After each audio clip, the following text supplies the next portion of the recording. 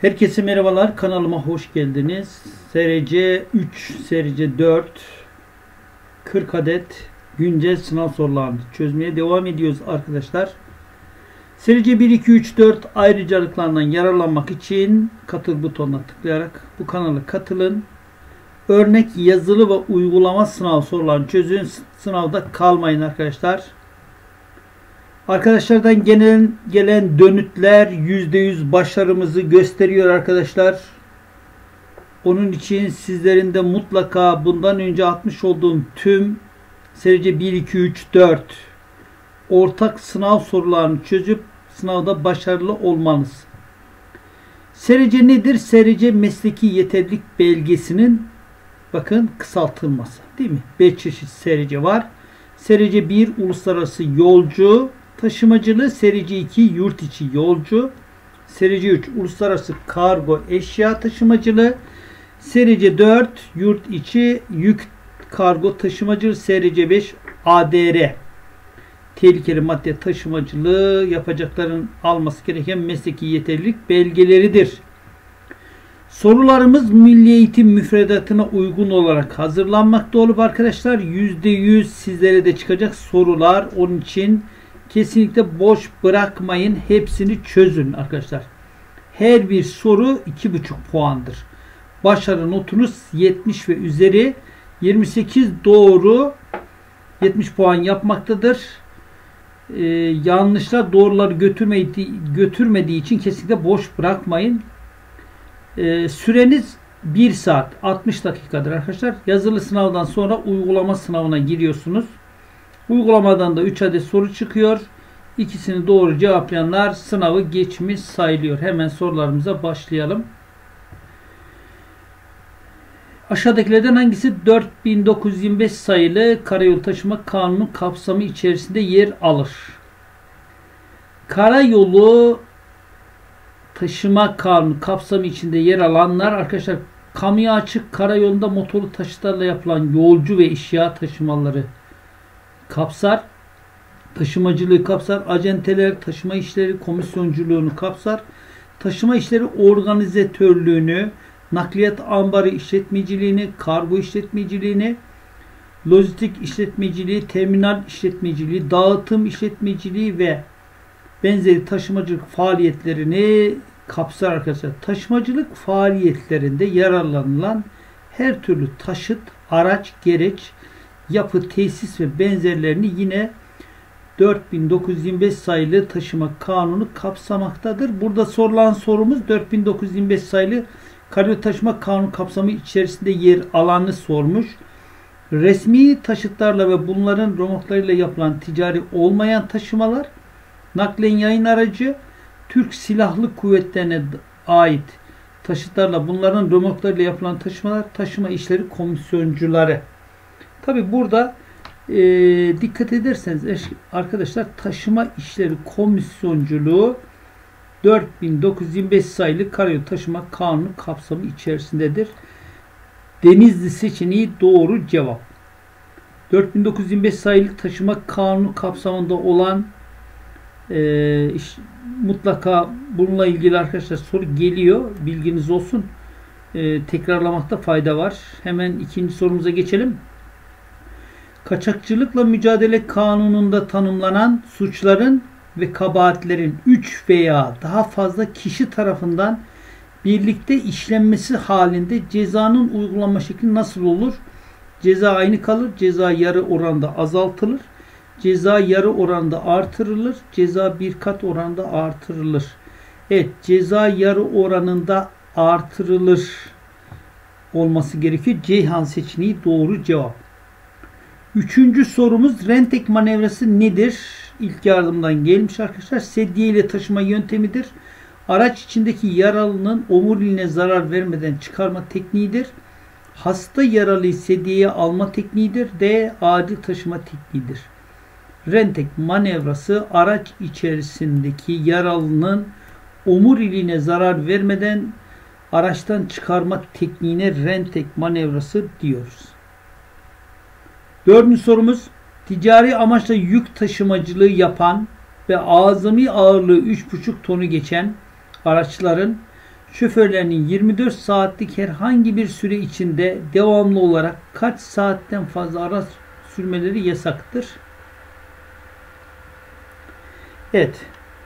Ee, Tabi burada 9 saatten fazla araç sürmeleri yasaktır. Arkadaşlar Bursa seçeneği doğru cevap. Beşinci sorumuz otobüs, minibüs, kamyon, kamyonet, çekici ve romorklarının teknik şartlara uygunluğu açısından periyodik muayenesi ile ilgili olarak aşağıdakilerden hangisi doğrudur? A. ilk bir yaş sonunda ve devamında yılda bir. B. ilk iki yaş sonunda ve devamında yılda bir. C. ilk üç yaş sonunda ve devamında her iki yılda bir. D. ilk üç yaş sonunda ve devamında üç yılda bir. Evet arkadaşlar e, ilk bir yaz sonunda ve devamında yılda bir muayenesi olmak zorundadır. Adana seçeneği doğru cevap. Altıncı sorumuza bakalım. Karayolu taşıma yönetmenliğine göre yetki belgesi sahiplerinin yurt içi eşya taşımalarında ilgili mevzuatın öngördüğü usule göre Gönderen tarafından düzenlenmiş sevk irsaliyesi nerede bulundurmaları zorunludur? İş yerinde, taşıtlarında, gönderende, alıcıda. Evet, mevzuatın öngördüğü usule gönderen tarafından düzenlenmiş sevk irsaliyeleri tabii ki yakın bir yerde olması gerekiyor değil mi arkadaşlar? Sevk irsaliyesi, ürün, mal taşıyorsunuz. Nerede bulunduracaksınız? Taşıtlarda bulundurmanız gerekir. Bursa seçeneği doğru cevap. Yedinci sorumuz motorun soğutma sisteminde kullanılan antifriz donmayı önlemenin yanı sıra soğutma sıvısının geçtiği yerlerde korozyonu, paslanmayı ve kireç oluşumunu da engelleyerek parçaların ömrünü artırmaktadır. Buna göre antifriz kullanımı motorlarda hangi durumda tercih edilmelidir? A. Her türlü iklim şartlarında B. Sadece sıcak yaz aylarında C sadece zorlu kış koşullarında D donma gerçekleştirdikten sonra. Antifriz donmayı önlemenin yanı sıra arkadaşlar soğutma sıvısının geçtiği yerlerde korozyonu paslanmayı da e, önler. Motorun ömrünü, parçaların ömrünü uzatır. Her türlü iklim şartlarında tercih edilmelidir. Adana seçeneği doğru cevap. Sekizinci sorumuz Aşağıdaki bakanlıklardan hangisinin ulaşımla ilgili sevk ve idare görevi yoktur? A. Turizm Bakanlığı, B. İçişleri Bakanlığı, C. Milli Eğitim Bakanlığı, D. Adalet Bakanlığı. Tabii ki Adalet Bakanlığı'nın idare ve görevi sevk, e, ulaşımla ilgili görevi yoktur. Denizli seçeneği doğru cevap. Dokuzuncu sorumuz hızlı 80 kilometre olan bir aracın kuru havada ve yeterli görüş mesafesine sahip durumdayken güvenli takip mesafesi aşağıdakilerden hangisidir? Evet, hızı 80 olan bir aracın 40 metre, 50 metre, 60 metre, 70 metre. Bu takip mesafesini sorduğu için arkadaşlar takip mesafesi hızın yarısıdır. Yani 80'in yarısı nedir? 40'tır değil mi? Evet. Cevabımız da Adana seçeneğidir. Takip mesafesi hızın yarısıdır. Aracın 2 saniyede kat ettiği süredir. 88-89 sayılarını arka arkaya saydığımızda yine takip mesafesini veriyor. 10. sorumuz yetki belgesi sahipleri hangi süreler içerisinde sürücülerin ceza puanı durumunu Emniyet Genel Müdürlüğü'nden öğrenmek zorundadır. A yılda bir kez, B ikişer aylık süreyle yılda 6 kez. C üçer aylık süreyle yılda 4 kez. D altışar aylık süreyle yılda 2 kez. Evet. Altışar aylık süreyle yılda 2 defa Emniyet Genel Müdürlüğü'nden sürücülerin ceza puanlarını, durumunu öğrenmek zorundadır yetki belgesi sahipleri. Denizli seçeneği doğru cevap.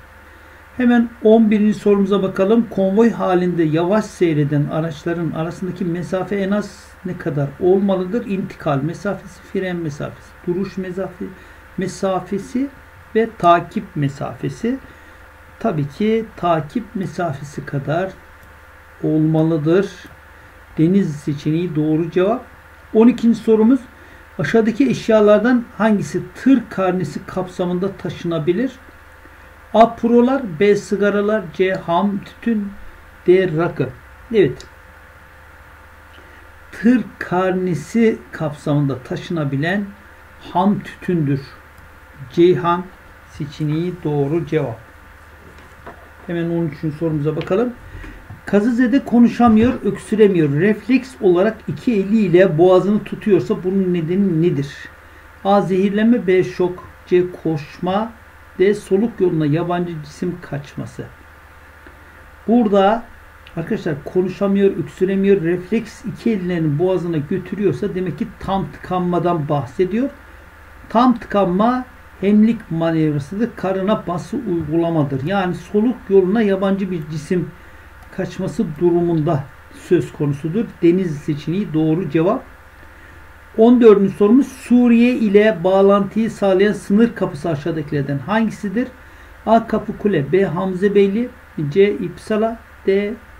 Cilve Gözü Tabi burada da arkadaşlar Cilve Gözü Suriye ile e, bağlantıyı sağlayan sınır kapılarından birisidir.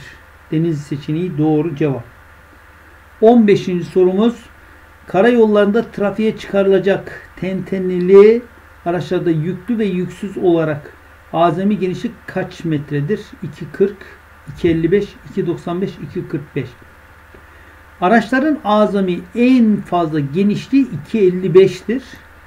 Yükseklikleri ise 4 metredir arkadaşlar. Burada bize genişlik sormuş bakın. Yüklü ve yüksüz genişliği soruyor. 2.55'tir. Bursa seçeneği doğru cevap.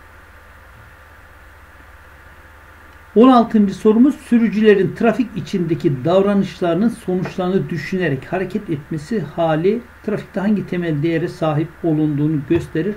Kabalık, hırçınlık, bencillik, sorumluluk. Evet. Ee, yaptığı hataların sonucunu düşünerek hareket etmesi tabii ki bir sorumluluktan bahsetmiş değil mi? Denizli seçeneği doğru cevap. 17. sorumuz bir otomobil ile bir kamyonun aynı anda emniyetle geçemeyeceği kadar dar olan bir yolda karşılaşmaları halinde aksine bir şart yoksa hangisi diğerine geçiş kolaylığı sağlamak zorundadır?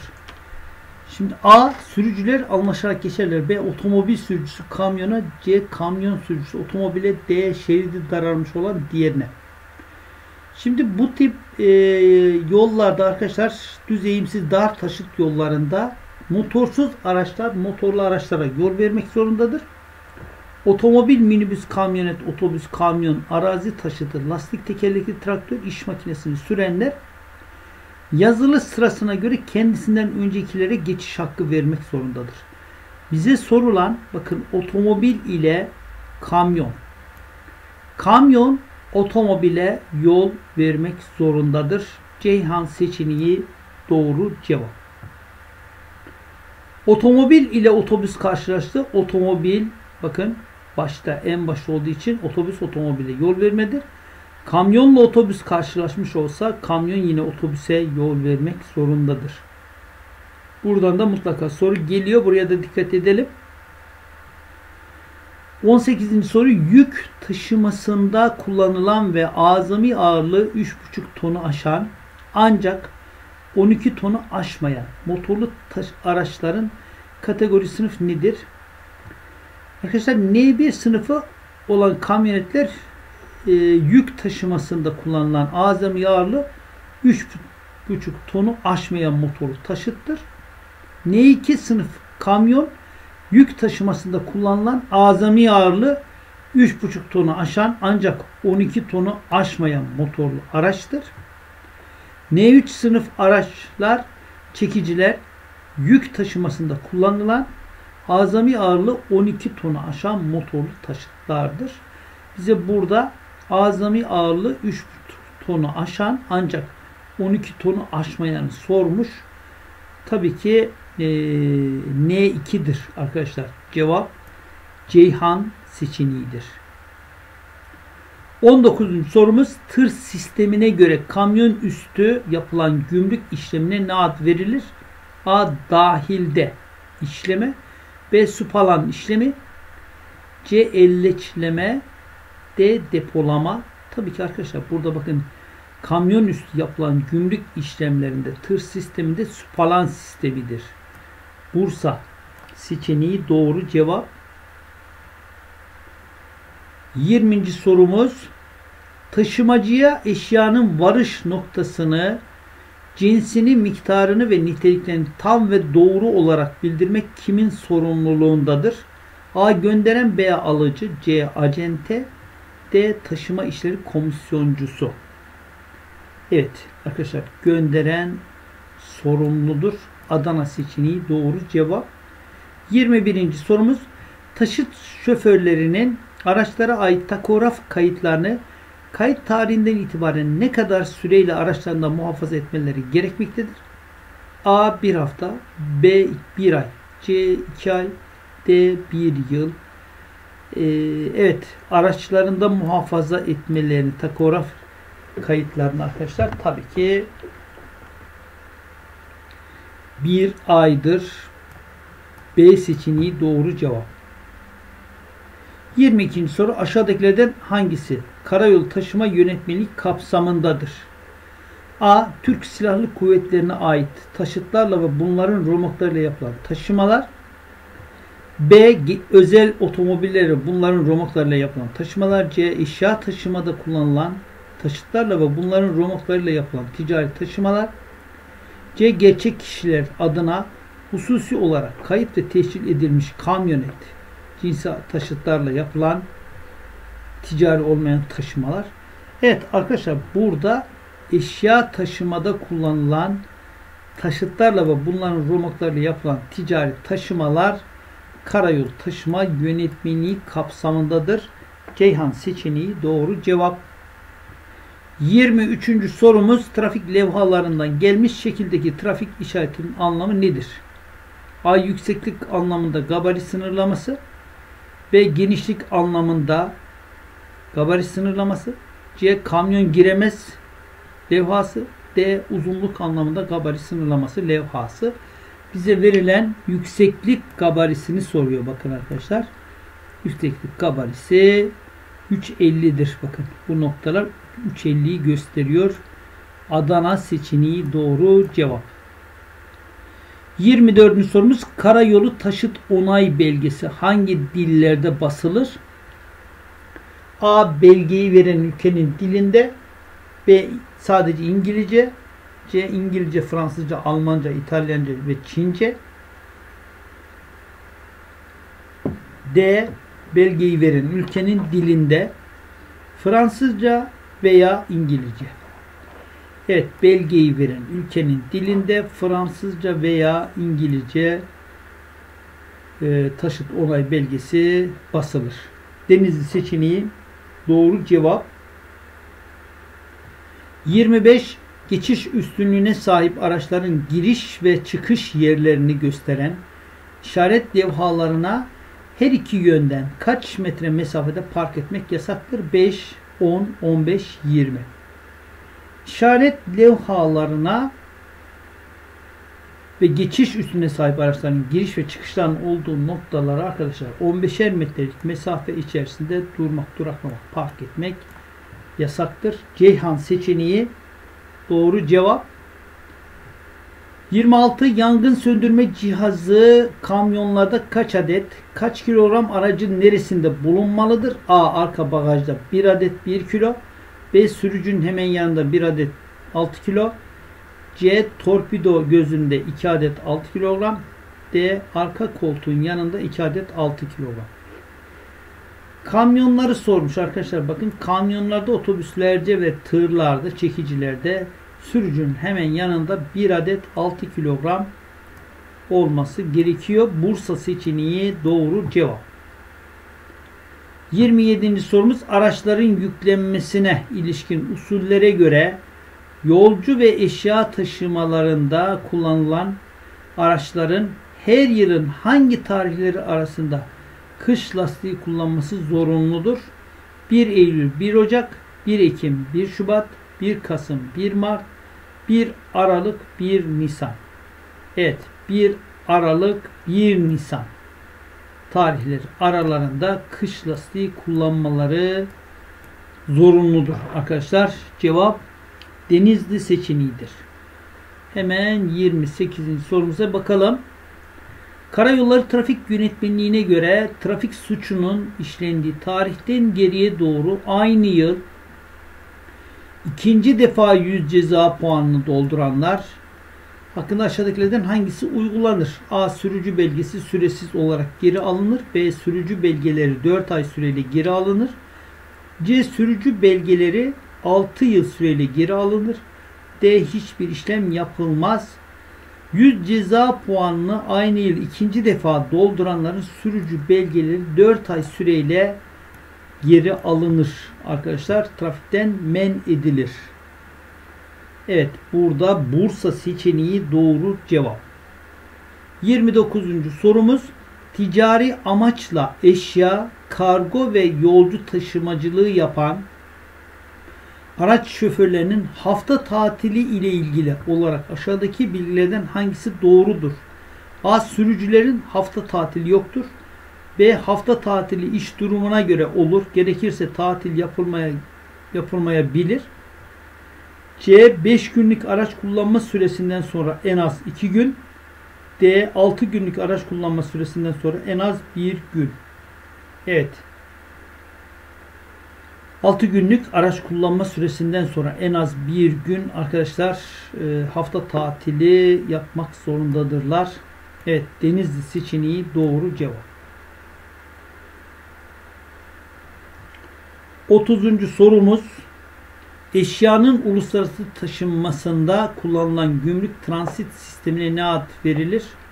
A. Transit rejimi B. Tır sistemi C. Uluslararası taşımacılık D hiçbiri. Evet. Arkadaşlar burada uluslararası taşınmasında kullanılan gümrük transit sistemi tır sistemidir. Bursa seçeneği doğru cevap. 31. sorumuz. Aşağıdakilerden hangisi birinci derece güvenlik gereci değildir? A. Lastikler B. Korna C. Emniyet kemeri D. ışıklar. Birinci derecede güvenlik gereci. Arkadaşlar birinci derecede güvenlik e, gereci emniyet kemeri değildir. Emniyet kemeri ve hava yastıkları ikinci derecede güvenlik sistemidir. Ceyhan seçeneği doğru cevap.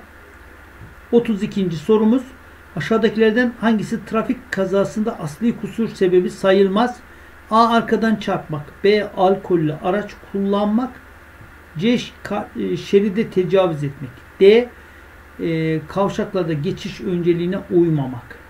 Arkadaşlar alkollü araç kullanmak e, asli kusur değildir. Kazaya karıştığınız zaman ancak e, suç sizde ise asli kusur işlemiş oluyoruz. Evet Bursa seçeneği doğru cevap. 33. sorumuz aşağıdakilerden hangisi karayolu taşıma yönetmeliği kapsamındadır? A. Özel otomobillerle ve bunların romotlarla yapılan taşımalar. B. Lastik tekerlekli traktörlerle ve bunların romotlarla yapılan taşımalar. C. Üç tekerlekli taşıtlarla yapılan taşımalar.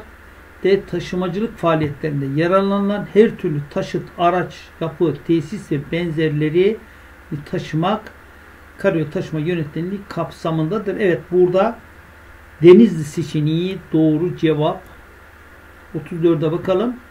Uluslararası karayolu taşımacılığı yapan taşıtlarla çalışan personelin çalışma sürelerine ilişkin Avrupa Anlaşması AETR'ye göre herhangi bir 15 günlük sürede toplam taşıt kullanma süresi kaç saati geçemez?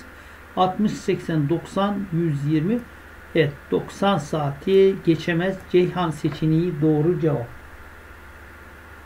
35. sorumuz aşağıdakilerden hangisi karayolu taşıma yönetmeliği kapsamına girer? A. Özel otomobillerle ve bunların romorklarıyla yapılan taşımalar. B. Ticari amaçla yapılan her türlü taşımalar. C. Türk Silahlı Kuvvetlerine ait taşıtlarla ve bunların romorklarıyla yapılan taşımalar. D. Üç tekerlekli taşlarla yapılan taşımalar. Burada ticari amaçla yapılan her türlü taşımalar karayolu taşıma yönetmeliği kapsamına girer arkadaşlar. Bursa seçeneği doğru cevap. 36. sorumuz aşağıdakilerden hangisi tır sözleşmesinin tam açılımıdır? A. Uluslararası Karayolu Taşımacılığı Sözleşmesi B. Uluslararası Karayolu Taşımacılığına ilişkin Gümrük Sözleşmesi C. Tır karneleri himayesinde uluslararası eşya taşımasına dair Gümrük Sözleşmesi D. Tır plakalı araçlarla karayolu taşımacılığına ilişkin uluslararası sözleşme Evet. E, hangisidir arkadaşlar? Tır karneleri himayesinde uluslararası eşya taşımasına dair gümrük sözleşmesidir. Ceyhan seçeneği doğru cevap 36. 37'ye bakalım. Araçların karayolu yapılarından güvenle ve yapıya zarar vermeden geçmeleri için aynı dingile bağlı tekerleklerden karayoluna aktarılan ağırlığa ne denir? A. istihap haddi B. Taşıma sınırı C. Azami dingil ağırlığı D. Kapasite Evet. Azami dingil ağırlığıdır. Ceyhan seçeneği doğru cevap. 38. sorumuz ticari amaçla yük taşımacılığı yapan ve azami ağırlığı 3,5 tonu geçen araçların şoförleri ile ticari amaçla yolcu taşımacılığı yapan ve taşıma kapasitesi şoförü dahil 9 kişiyi geçen araçların şoförlerinin 24 saatlik herhangi bir süre içinde devamlı olarak kaç saat araç sürebilirler? 5 saat, 6 saat, 9 saat, 4,5 saat. Evet arkadaşlar 4,5 saat araç kullanabiliyorlar. 4,5 saatten sonra 45 dakika mola verebiliyoruz. Vermemiz gerekir. Bu 45 dakikalık molayı 15'er dakikalık aralıklarla da verebilirsiniz. Ve toplamda 9 saat araç kullanabiliyoruz. Hemen 39. sorumuza geçelim. Tır karnesi giriş çıkış yaprakları veya veri bilgilerinin gümrük idaresince karşılaştırılarak çakıştırılmasına ne ad verilir? A. Tır işleminin sona ermesi. B. Tır işleminin başlaması. C. Tır işleminin ibrası. D. Tır işleminin durdurulması. Tabii ki tır işleminin ibrasıdır. Ceyhan seçeneği doğru cevap. 40. sorumuz son sorumuz arkadaşlar. Yine önemli bir soru. 4925 sayılı karayolu taşıma yönetmeliğine göre aşağıdakilerden hangisi ticari ve tarifesiz olarak yapacaklara verilir? Yetki belgesidir. Verilen yetki belgesidir. A2, D2, C2, N2 e, ticari ve tarifesiz olarak yapacaklara verilen e, arkadaşlar yetki belgesi D2 yetki belgesidir. Bursa seçeneği doğru cevap. Evet arkadaşlar serici 1, 2, 3, 4, 5'te YouTube kanalı en doğru adresimiz. Kanalımıza abone olup videoları beğenmeyi unutmayın lütfen. Kanala katılarak hem yazılı hem de uygulama sorularını çok rahatlıkla çözüp %100 serici 1, 2, 3, 4, 5'ten geçebilirsiniz arkadaşlar. Hepinize başarılar diliyorum. Bir sonraki SRC sorularında görüşmek üzere. Hoşçakalın.